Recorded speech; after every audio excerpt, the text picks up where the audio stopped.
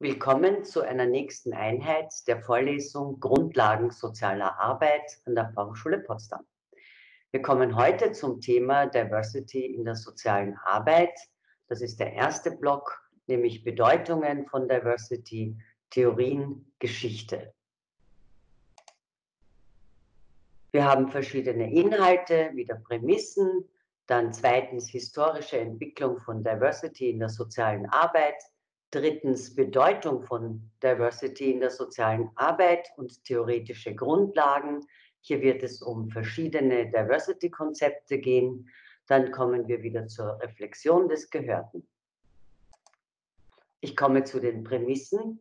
Soziale Arbeit bedeutet Arbeit mit und für Menschen, die durch ihre Verschiedenheit, das ist die Übersetzung von Diversity, und Gleichheit, also Menschen zu sein, charakterisiert sind. Die Verschiedenheit bezieht sich darauf, dass kein Mensch dem anderen gleicht.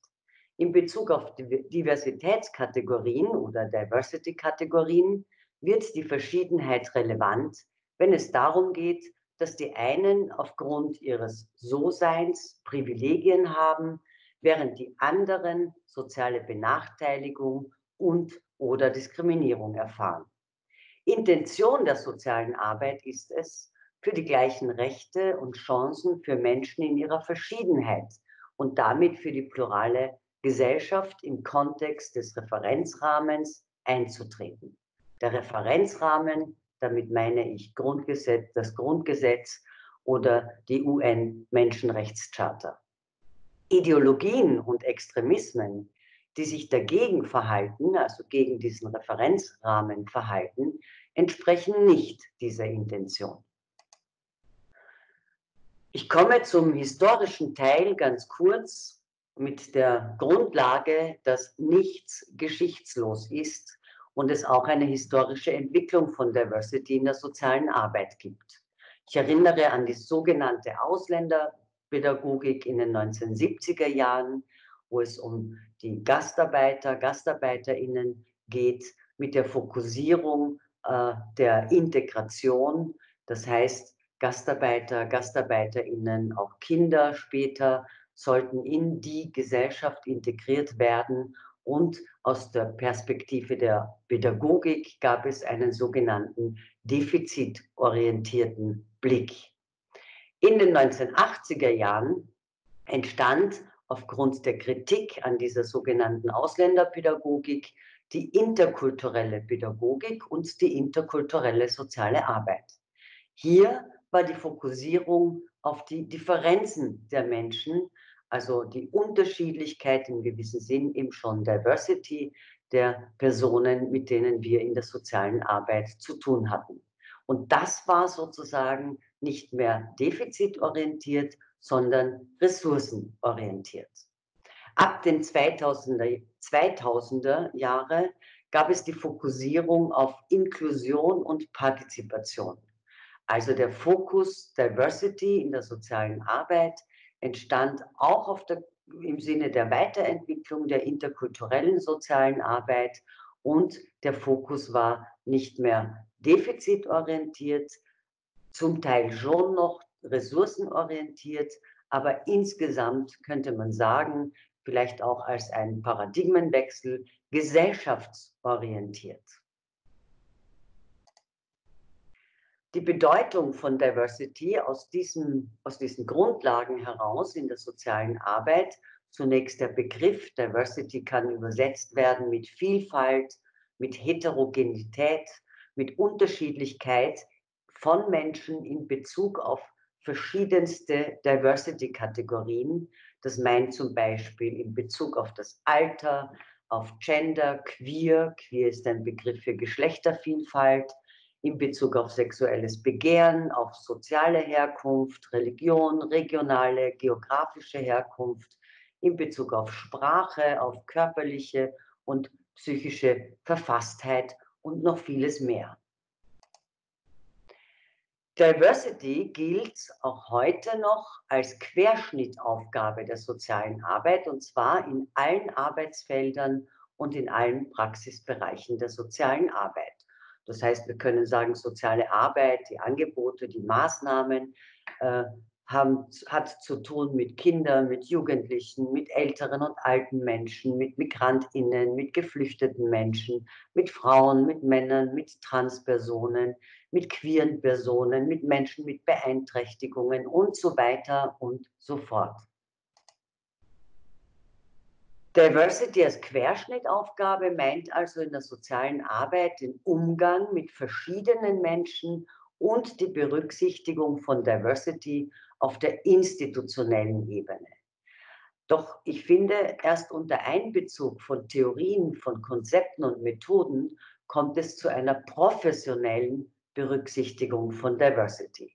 Das heißt, es geht nicht nur darum, dass wir mit Kindern arbeiten, in, einer anderen, in einem anderen Kontext mit Jugendlichen oder mit alten, älteren Menschen, sondern dass wir tatsächlich Diversity-Theorien, Konzepte und Methoden, die ja existieren, auf die komme ich noch genauer, einbeziehen, damit wir von einer professionellen sozialen Arbeit im Hinblick auf den individuellen Umgang und den institutionellen Umgang mit Diversity sprechen können. Der individuelle Umgang meint die Berücksichtigung der Verschiedenheit, der Unterschiedlichkeit, der Diversität von den Menschen, mit denen wir arbeiten. Der institutionelle Umgang betrifft die Frage, wie wird denn Diversity in der Institution, beim Träger umgesetzt? Betrifft also die Frage von Personalpolitik, von Leitbildern, von Antidiskriminierungsmaßnahmen und von Angeboten. Zu dieser Frage der Methoden komme ich noch bei der nächsten Vorlesung.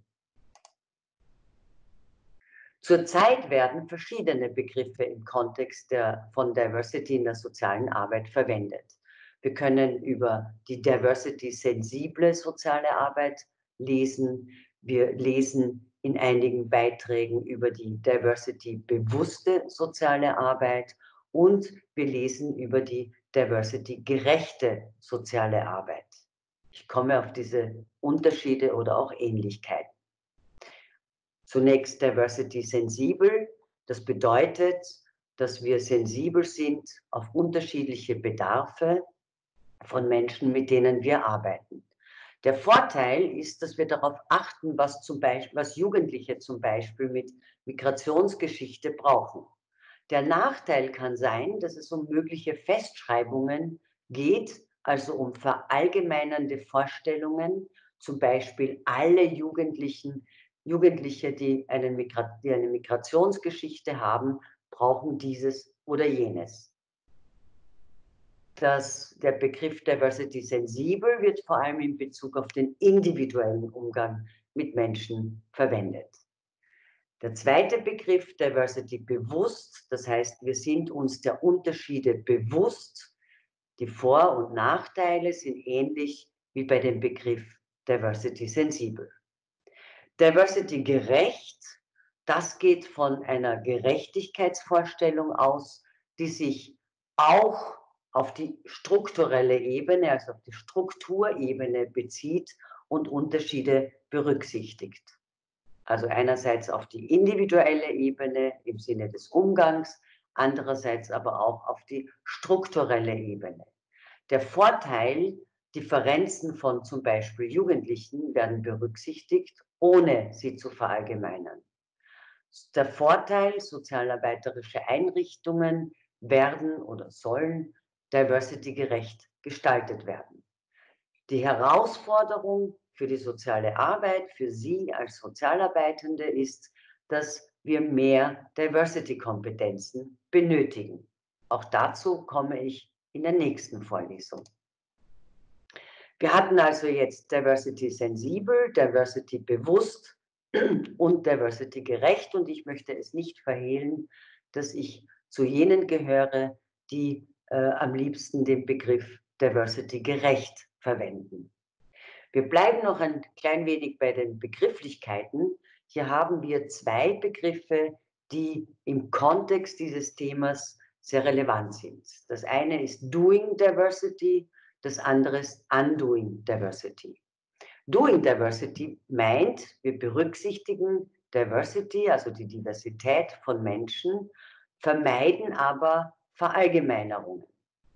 Undoing Diversity bedeutet, dass wir keine Festschreibungen machen, dass die Diversitätskategorien gleichsam offen sind, dass wir sie in Schwebe halten.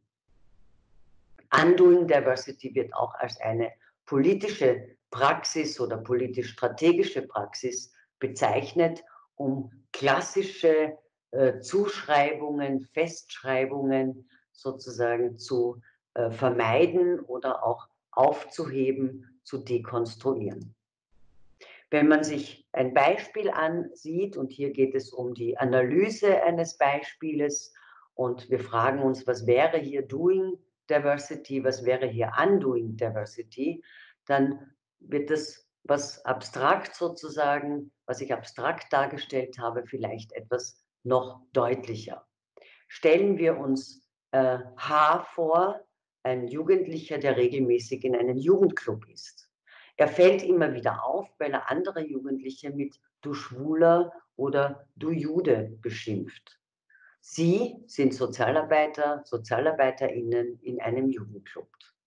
Jetzt können Sie versuchen, das zu analysieren, nämlich das Verhalten von H zu analysieren und sich zu überlegen, warum spricht er so? Die Frage, was wäre in Ihrer Analyse eine Verallgemeinerung? Was wäre in Ihrer Analyse Doing Diversity? Was wäre in Ihrer Analyse Undoing Diversity? Wir sehen uns das mal ein wenig an.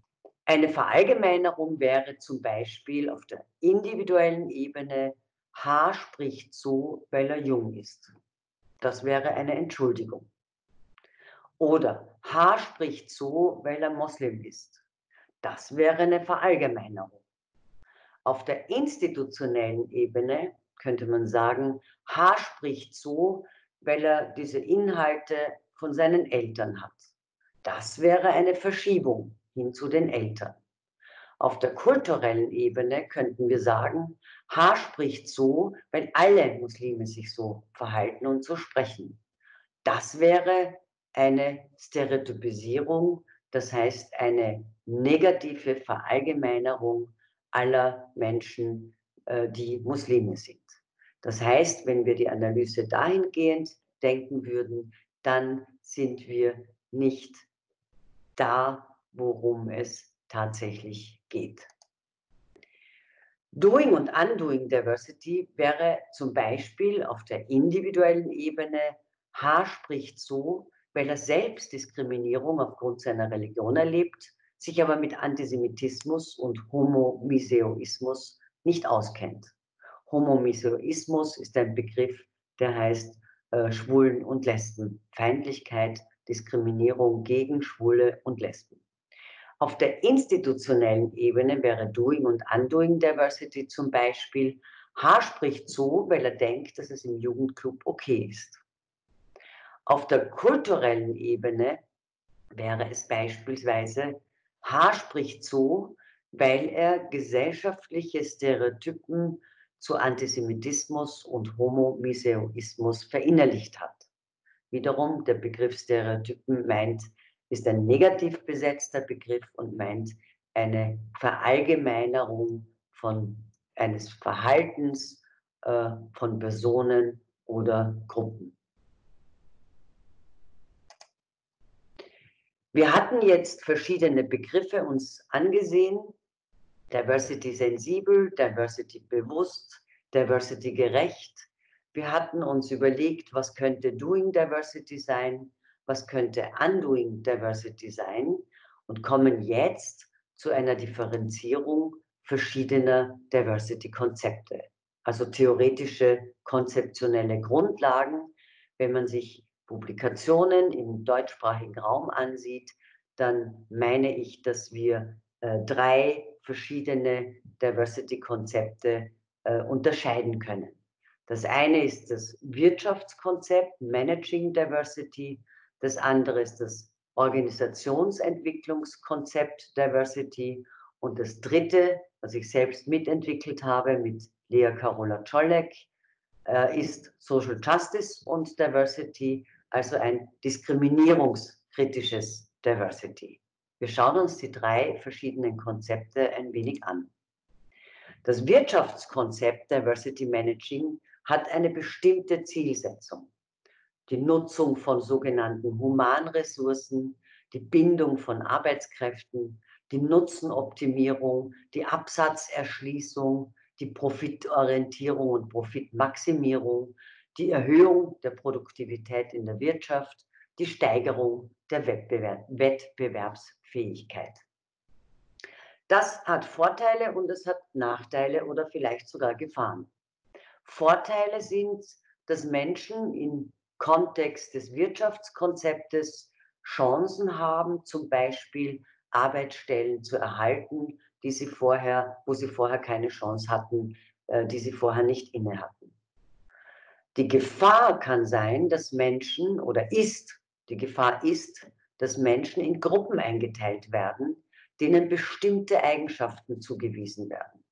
Also ein Beispiel dafür, äh, ich hatte einen Artikel gelesen, wo eine Fluggesellschaft äh, es ja hervorgehoben hat, dass sie trans- und intergeschlechtliche Personen äh, angestellt haben, weil diese vermeintlicherweise die Bedarfe, die Wünsche von allen Geschlechtern, also Männer wie Frauen, äh, sehr, sehr gut kennen würden, weil sie ja sozusagen äh, intergeschlechtlich sind. Das ist natürlich eine Verallgemeinerung im negativen Sinne. Wir schauen uns das Organisationsentwicklungskonzept Diversity an. Es hat eine bestimmte Zielsetzung, nämlich die Implementierung, die Realisierung von Diversity zugunsten der Pluralisierung von sozialen Institutionen und sozialarbeiterischen Einrichtungen. Das ist ein Modell, das hat Hubertus Schröer 2005 entwickelt und ist sehr wichtig für die soziale Arbeit, insbesondere äh, wenn es darum geht, in einer sozialarbeiterischen Einrichtung oder Institution oder in einem Verein, in einem Projekt äh, Diversity zu berücksichtigen und de facto zu realisieren. Hubertus Schröer, Schröer hat verschiedene Stufen beschrieben. Hier ganz kurz, dass es zunächst immer darum geht, eine Bestandsaufnahme zu machen. Dazu gibt es verschiedenste Methoden, zu denen ich im zweiten Teil dieser Vorlesung noch kommen werde, nämlich Bestandsaufnahme im Hinblick darauf, äh, wo zeigt sich Diversity bereits in dieser sozialarbeiterischen Einrichtung, Einrichtung im Hinblick auf Personen, die hier arbeiten, zum Beispiel, oder im Hinblick auf Angebote, Maßnahmen, die wir für Menschen machen, mit denen wir arbeiten. Und wo fehlt noch etwas? Dann gibt es die Zielentwicklung, also was ist meine Zielsetzung in dieser Einrichtung, wo will ich hin, inwiefern soll die Pluralität der Menschen in dieser Gesellschaft abgedeckt werden. Einerseits eben über Personen, die hier arbeiten oder eben andererseits über Maßnahmen, über Angebote. Dann kommt es zur Konkretisierung, nämlich Diversity als Gesamtkonzept als Zusammenführung verschiedenster Handlungsansätze äh, zu realisieren. Die verschiedenen Handlungsansätze meinen zum Beispiel Antidiskriminierungsarbeit, äh, Gender Mainstreaming, Gleichstellungsbeauftragte, Frauenbeauftragte, also die Inklusionsbeauftragte quasi zusammenzufassen und zu sagen, wie können wir gemeinsam vernetzt arbeiten mit der Zielsetzung Diversity umzusetzen in unserer Einrichtung. Dann kommt es zur Strategieentwicklung, also welche Strategien habe ich, um das Ziel zu erreichen, zur Qualitätsentwicklung, zum Prozessmanagement und natürlich immer dabei damit verknüpft zum Controlling, also quasi, wenn ich Steuerungsgruppen habe, äh, die da mitmachen, auch das Controlling, das immer parallel mit einhergeht. Natürlich muss ich auch äh, gesetzliche Rahmenbedingungen mit einbeziehen, zum Beispiel das allgemeine Gleichbehandlungsgesetz, das ja ein Antidiskriminierungsgesetz ist, ein Schutzgesetz für Menschen, mit, äh, die von Diskriminierung äh, im Arbeitskontext zum Beispiel betroffen sind. Das AGG hat sehr viele Paragraphen drin, die sehr wichtig auch für die soziale Arbeit sind. Äh, gleichzeitig gibt es auch Kritik am AGG, dass zum Beispiel personenbezogene oder dass zum Beispiel bestimmte Diversity-Kategorien nicht benannt werden. Das heißt, wenn ich zum Beispiel Diskriminierung erfahre aufgrund meiner sozialen Herkunft, dann kann ich über das AGG nicht klagen, weil diese äh, Form sozusagen im AGG nicht aufgenommen wurde. Das heißt, im AGG kann ich oder über das AGG kann ich dann klagen, wenn äh, ich diskriminiert werde aufgrund bestimmter personenbezogener Merkmale. Manche sind drin, wie Gender, manche sind nicht drin, wie zum Beispiel soziale Herkunft. Das dritte Konzept äh, nennt sich Social Justice und Diversity. Sie sehen hier auch das Cover eines sehr neuen Buches, Praxishandbuch Social Justice und Diversity, Theorien, Training, Methoden, Übungen. Das ist ein Konzept, das ich selbst mitentwickelt habe.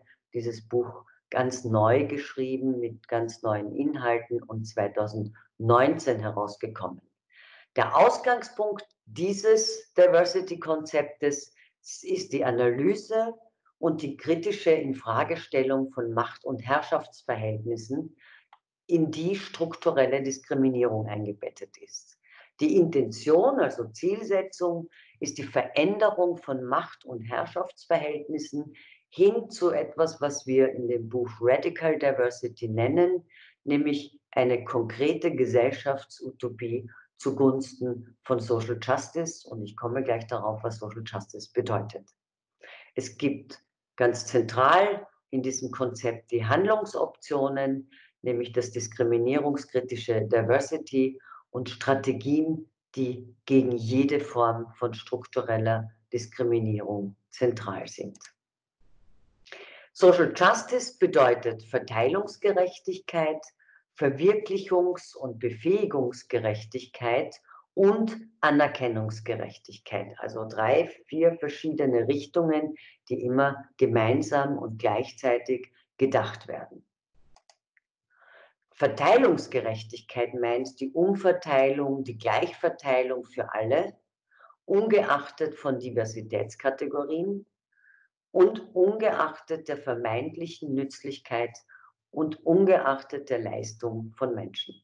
Also das heißt, äh, keine Bindung äh, daran, dass ich sage, erst dann gibt es eine Verteilungsgerechtigkeit auch für jene Personen, die etwas Bestimmtes erfüllen, sondern das ist bedingungslos. Die Anerkennungsgerechtigkeit bedeutet die Teilhabe und die Partizipationsmöglichkeit, nämlich im Bereich von Bildung, von Kunst, von Kultur, ganz zentral vom Gesundheitswesen, also quasi in allen gesellschaftlichen Feldern, in denen sich ja nach diesem Konzept die Pluralität von Menschen widerspiegeln soll. Der Unterschied zwischen Teilhabe und Partizipation ist jener, dass ich bei der Teilhabe sage, Menschen können an etwas teilhaben, also mitmachen. Und Partizipation bedeutet, Menschen können etwas mitgestalten. Die Verwirklichungs- und Befähigungsgerechtigkeit zeigt einen Perspektivenwechsel an, nämlich dass Institutionen etwas zur Verfügung stellen und Menschen zur Partizipation befähigen. Das bedeutet für die soziale Arbeit zum Beispiel, wenn man ein einen Bereich herausgreift, zum, äh, beispielsweise den also Jugendclubs, dass Jugendlichen äh, quasi Computer, Laptops, Internetzugang zur Verfügung gestellt werden, damit sie sich beteiligen können, partizipieren können, aber dass das nicht ausreicht, dass wir auch Jugendliche befähigen müssen, zum Beispiel zur äh, kritischen, zum kritischen Gebrauch dieses Internets.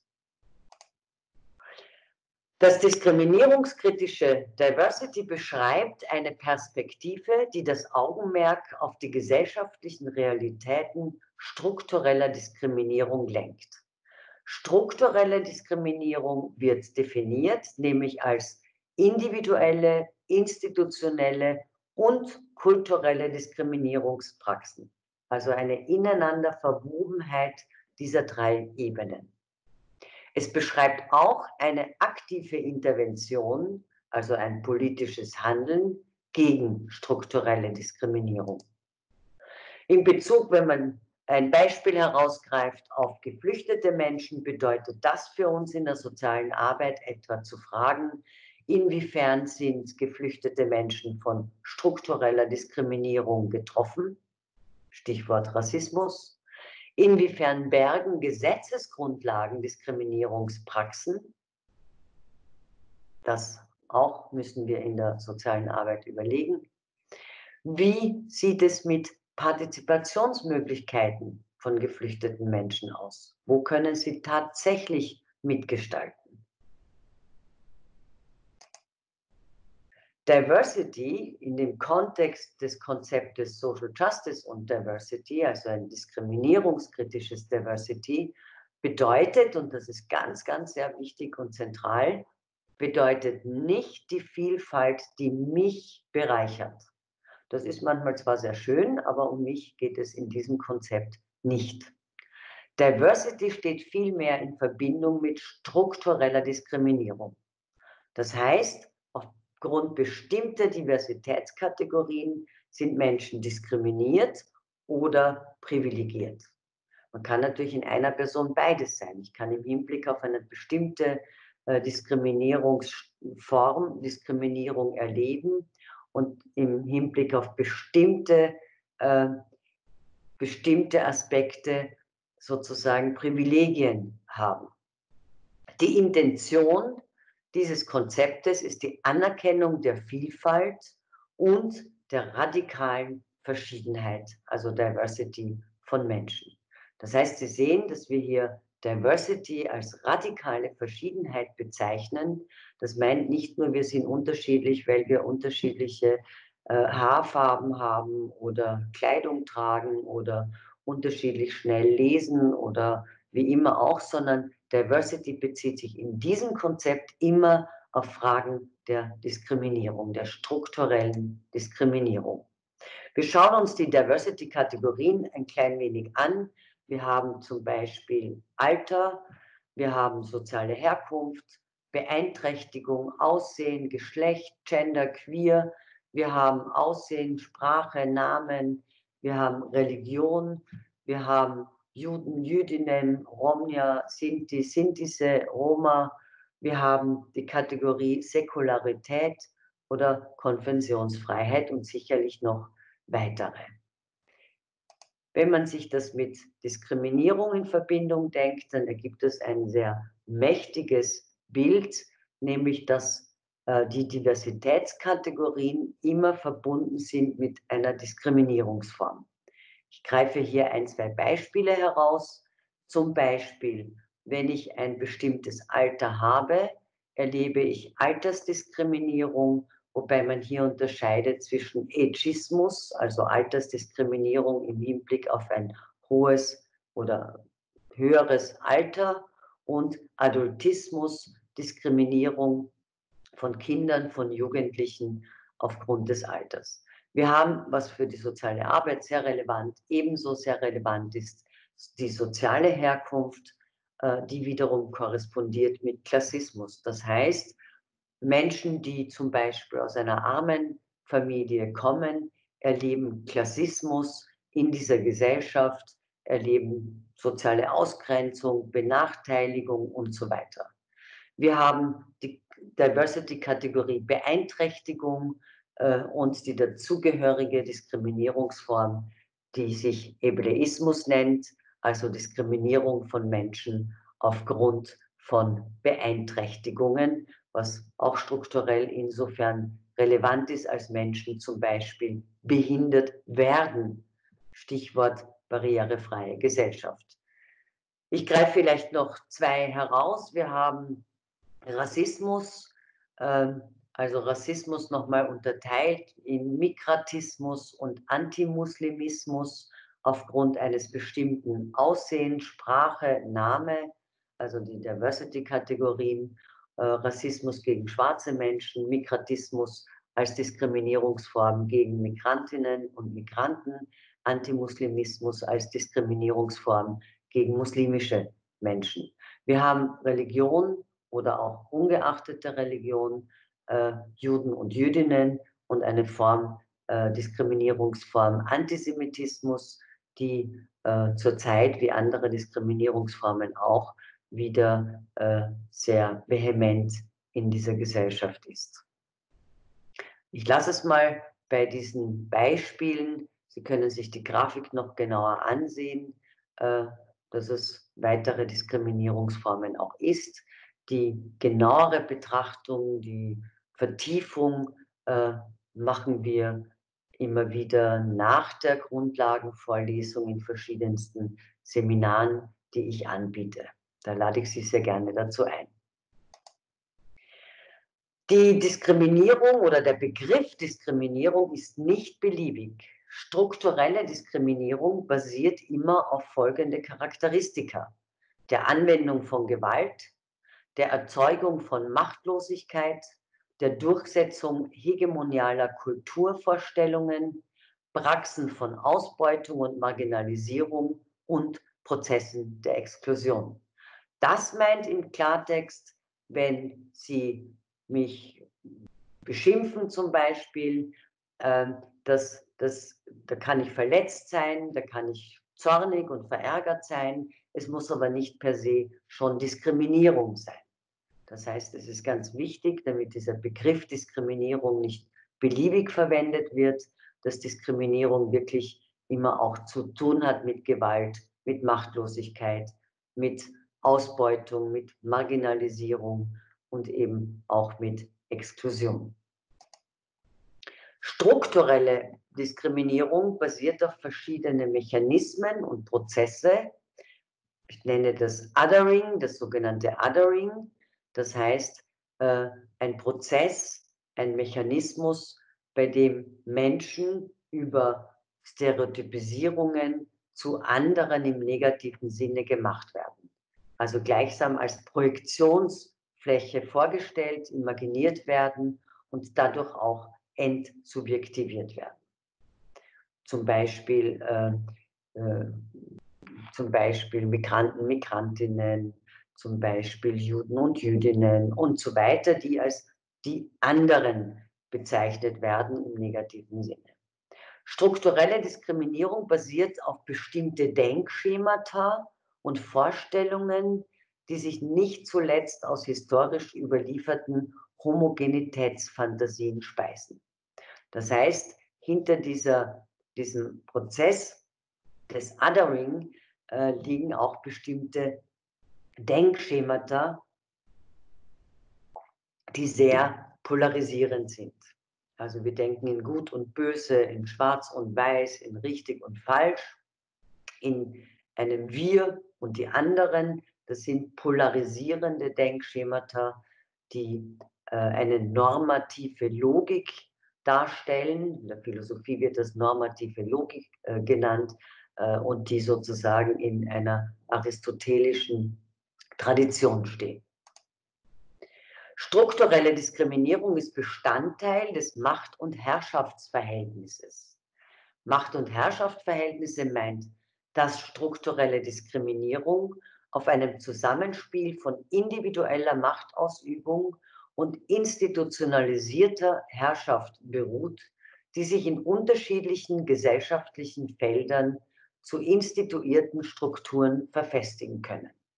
Das heißt, strukturelle Diskriminierung, also jene Diskriminierung mit verschiedenen Diskriminierungsformen, die Menschen erleben, ist auch eingebettet in ein Macht- und Herrschaftsverhältnis, das unsere Gesellschaft auch ausmacht. Äh, ganz wichtig in dem Konzept Social Justice und Diversity ist der Begriff der systemischen Intersektionalität. Das heißt, Diskriminierungsformen haben ihre je eigene Geschichte, ihre je eigene Erscheinungsweise. Gleichzeitig wirken sie zusammen und sind ineinander und miteinander verwoben. Das nennt man systemische Intersektionalität.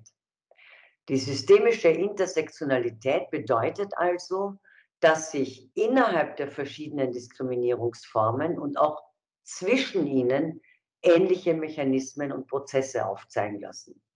Das Othering, also das zum anderen im negativen Sinne gemacht werden, zeigt sich bei Antisemitismus, zeigt sich bei Rassismus, zeigt sich bei Klassismus, also ähnliche Mechanismen bei den verschiedenen Diskriminierungsformen. Die systemische Intersektionalität bedeutet auch, dass Diskriminierungsformen sich gegenseitig stabilisieren und verhärten, verfestigen. Deswegen sprechen wir bei, im Kontext der systemischen Intersektionalität auch von einer Diskriminierungsmatrix. Diese äh, Folie soll das ein bisschen verdeutlichen, ähm, wo Sie sich vorstellen können, eine Matrix ist gleichsam äh, wie ein, ein, eine Grundlage innerhalb einer Gesellschaft, wo es verschiedene Diskriminierungsformen gibt. Sie sehen hier so die gelben äh, Kügelchen, äh, wo es Antisemitismus gibt, Sexismus gibt, Rassismus gibt und so weiter, die sich jeweils als Diskriminierungsform mit den Charakteristika verbinden, nämlich Ausbeutung, Gewalt, Machtlosigkeit und so weiter, und die immer korrespondieren äh, mit den einzelnen Diversity-Kategorien. Es ist wie ein Netz, das darüber gespannt ist auf dieser Folie. Das bedeutet, die Diskriminierungsmatrix wirkt bis in die Gegenwart hinein. Man kann Diskriminierungsformen sehr leicht reproduzieren, die es historisch gesehen gegeben hat. Und gleichzeitig ist die Matrix sehr verschwommen. Es ist nicht alles sichtbar. In Bezug auf die Intersektionalität äh, weise ich auf eine visuelle Anschauung hin, es gibt einen ganz kleinen Videoclip, eine visuelle Anschauung äh, zu dem, was bedeutet Intersektionalität in Bezug auf Diversity. Das können Sie sich gerne zu Hause ansehen. Social Justice und Diversity, also dieses dritte Konzept, diskriminierungskritische Diversity im Kontext von Social Justice und Diversity, hat ein Für und ein Gegen. Also es spricht sich für inklusive und partizipative Praxen aus, ganz relevant in der sozialen Arbeit. Es spricht sich dafür aus, dass wir unsere jeweilige radikale Verschiedenheit, also Diversity und Gleichheit im Blick haben und zulassen. Es spricht sich für ein Verbündetsein aus. Das ist eine spezifische Form der Solidarität als eine Art der politischen Freundschaft, bei der die Anliegen der anderen zu den je eigenen Anliegen werden. Das ist ein Konzept, das hab ich, haben wir nochmal extra in einem Artikel beschrieben, findet sich aber auch in dem angegebenen Buch. Und das ist ein Konzept für die soziale Arbeit, der das sehr, sehr relevant ist, nämlich ähm, ein Konzept, wo ich sage, äh, ich bin verbündet mit Klienten, Klientinnen, mit Menschen, mit denen wir arbeiten, ohne dass ich deren äh, Diversity-Kategorien teilen muss. Ich muss nicht die gleichen Erfahrungen machen, ich muss nicht die gleiche Geschichte haben, sondern explizit setze ich mich für diese Personen ein. Ich hatte gesagt, verbündet sein ist ein spezifisches Solidaritätskonzept und genau das meint es, denn die herkömmlichen, die klassischen Solidaritätskonzepte meinen äh, oder sind gebunden an gleiche Diversity-Kategorien. Man kennt das historisch, man kennt das auch gegenwärtig. Also zum Beispiel, wir Frauen sind mit uns als Frauen verbündet. Oder wir Gruppe X sind verbündet, weil wir alle das Merkmal X haben. Das Verbündetsein hebt das auf und sagt, wir brauchen nicht die gleichen Merkmale. Im Gegenteil, wir haben einen Blick, zum Beispiel von der sozialen Arbeit ausgehend auf jene, die von Diskriminierung betroffen sind. Das Konzept Social Justice und Diversity hat auch ein Gegen, ein Dagegensein, und zwar gegen jede Form von Diskriminierung, wobei Diskriminierungsformen nicht hierarchisiert werden. Das heißt, wir sagen nicht, äh, Rassismus ist furchtbarer als Sexismus oder als Antisemitismus, sondern wir sagen, jede Diskriminierungsform ist furchtbar für Menschen, die sie erleben und furchtbar für eine Gesellschaft, die das zulässt. Also gegen jede Form von Diskriminierung und diskriminierenden Praxen. Und dieses Konzept spricht sich gegen jede Form von Extremismen aus. Also auch Ideologien, die Extremismus äh, verbreiten. Der Rahmen, in dem äh, das Konzept sich bewegt, was ja ein großes Plädoyer auch für die Pluralität macht, ist der Referenzrahmen, nämlich immer Gewaltfreiheit und die UN-Menschenrechtscharta. Das ist ganz zentral. Ansonsten würden wir über äh, Verschiedenheit von Menschen und Pluralität von Menschen sprechen. Hätten wir diesen Referenzrahmen nicht, dann wäre es etwas Beliebiges. Und darum ist es ganz wichtig zu betonen, dieses Konzept ist immer bezogen auf den Re Referenzrahmen der Gewaltfreiheit und der UN-Menschenrechtscharta. Äh, wenn Sie mögen, können Sie zu diesem Konzept ein Videoclip ansehen. Das ist etwas länger, es dauert ungefähr eineinhalb Stunden.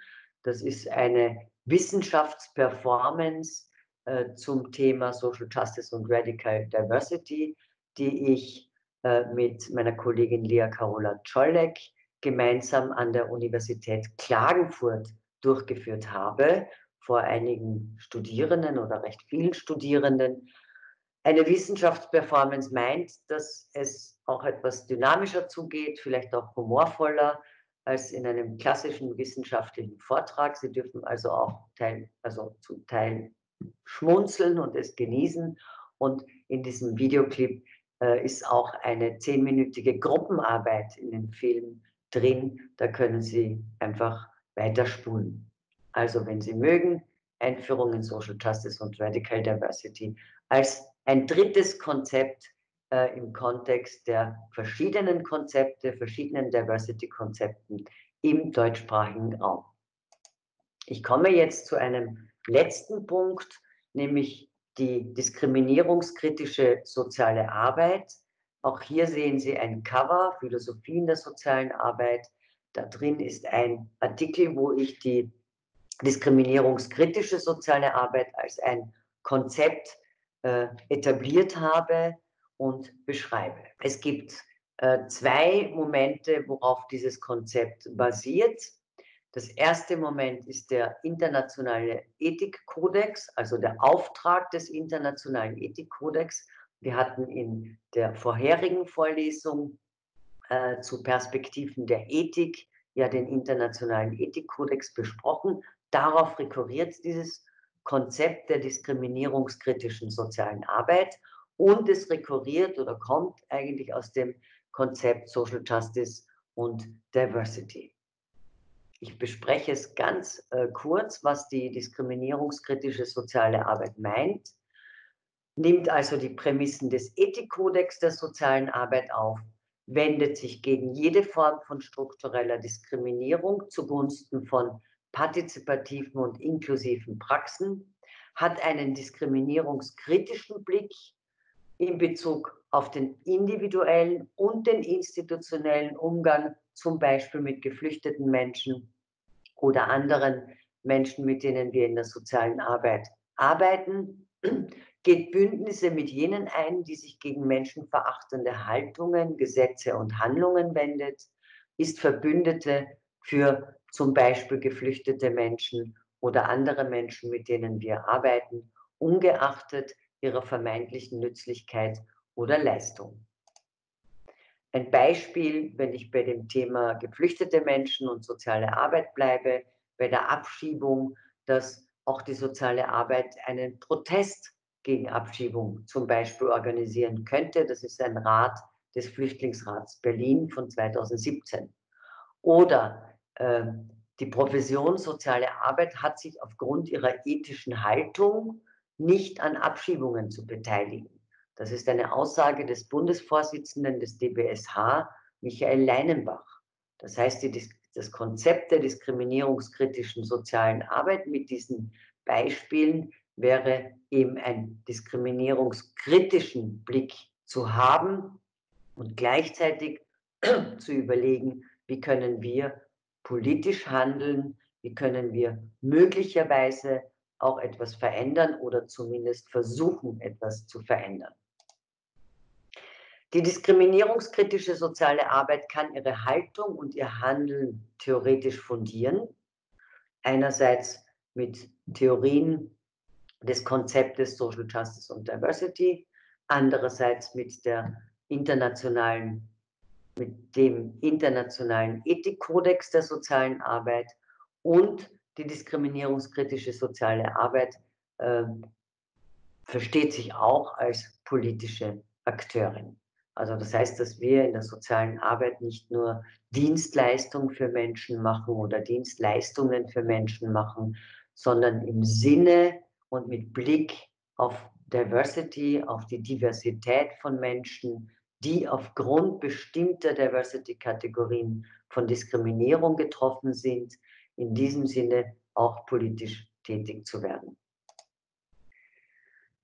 Äh, die diskriminierungskritische soziale Arbeit beansprucht für sich Mündigkeit, Kritik und widerständiges Handeln.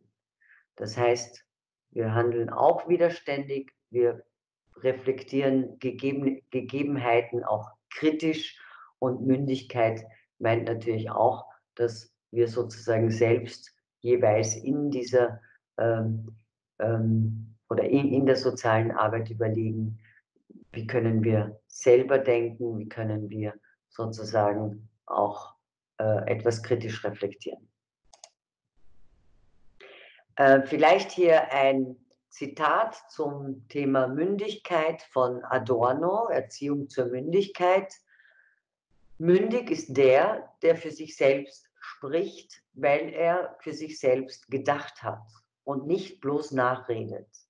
Das erweist sich aber an der Kraft zum Widerstand gegen vorgegebene Meinungen und in eins damit auch gegen nun einmal vorhandene Institutionen, gegen alles bloß Gesetzte, das mit seinem Dasein sich rechtfertigt. Solcher Widerstand ist eins mit Kritik, deren Begriff ja vom Griechischen, also Altgriechischen, Krino, entscheiden, herrührt. Das hat Adorno geschrieben 1971 ist sein Buch erschienen und ich finde, das ist nach wie vor für die soziale Arbeit sehr relevant, nämlich selbstkritisch zu sein einerseits, aber auch kritisch zu sein äh, der Gesellschaft gegenüber, bestimmten Belangen, bestimmten Gegebenheiten gegenüber, um aus der Perspektive der diskriminierungskritischen sozialen Arbeit äh, nochmal zu überlegen, wie können wir handeln. Ich weiß, es kommt an dieser Stelle immer wieder der Einwand, äh, wir haben so viel zu tun in der Praxis, wir können gar nicht äh, versuchen, etwas zu verändern und wir können schon gar nicht die gesamte Welt oder Gesellschaft verändern. Und da kann ich nur sagen, ja, Sie haben recht, aber was wir können, ist in allen verschiedenen Arbeitsbereichen, in denen wir sind, Handlungsoptionen auszuloten, zu überlegen, wo können wir wie agieren zugunsten der Diversität von Menschen, zugunsten der Menschen, mit denen wir arbeiten. Ja, ich mache hier mal Schluss. Sie wissen, es kommt wieder die Reflexion des Gehörten. Überlegen Sie sich in Ruhe zu Hause oder auch in Kleingruppen, welche unterschiedlichen Diversity-Konzepte es gibt und was zentral ist, auch im Sinne der Mündigkeit, äh, argumentieren Sie, welche Sie in welchem Arbeitsbereich der sozialen Arbeit anwenden würden. Oder beschreiben Sie, worum es in einer diskriminierungskritischen sozialen Arbeit geht, worauf sie abzielt, worauf sie wie zurückgreift. Und auch da wieder Ihre Argumentation sehr zentral, äh, inwiefern das Konzept der diskriminierungskritischen sozialen Arbeit für AdressatInnen der sozialen Arbeit relevant ist. Also nochmal eine Reflexion dessen, was Sie jetzt gehört haben äh, und der Versuch, es quasi kritisch auch nochmal zu argumentieren. Danke für Ihre Aufmerksamkeit und wie bei jeder, bei jeder PowerPoint-Folie finden Sie selbstverständlich auch hier verschiedenste Literatur, hier gegliedert zwischen äh, Diversity in Unternehmen der Wirtschaft, Diversity als Organisationsentwicklungsmodell, Diversity bewusste soziale Arbeit und Social Justice und Diversity, also eine diskriminierungskritische soziale Arbeit und dann auch noch Social Justice Theorien. Auch zur Intersektionalität finden Sie hier äh, Literatur zur interkulturellen Pädagogik und sozialen Arbeit, also auch zum historischen Teil. Finden Sie hier Folien. Ich bedanke mich für Ihr Zuhören und freue mich auf unsere nächste Vorlesung.